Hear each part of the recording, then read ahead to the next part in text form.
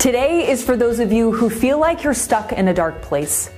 The truth is, life can be tough, and like many of you, I've been to that dark place a time or two.